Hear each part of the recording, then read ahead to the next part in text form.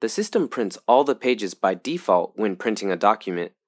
But what if we only want to print part of the pages in the document? Today, we're going to share with you two solutions.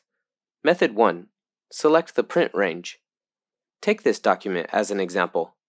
If we only need to print pages 1, 4, 5, and 9, we can click the Print button in the upper left corner or press Ctrl P to pop up the dialog box.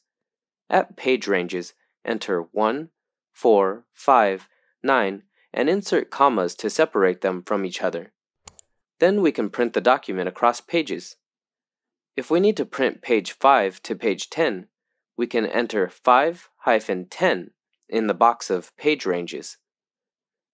Click OK, and we can see that only page 5 to page 10 are printed. Method 2. Hide the content that does not need to be printed. For example, when we don't want to print something in the document, we can select and hide it. For example, select the image and text, right-click Font, whose shortcut key is Ctrl D, and the dialog box pops up. Add effects, check Hidden, and click OK to hide the content.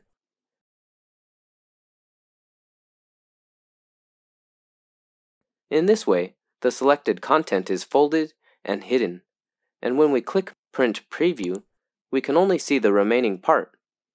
The above is the technique of paging and cross-page printing. Have you mastered it?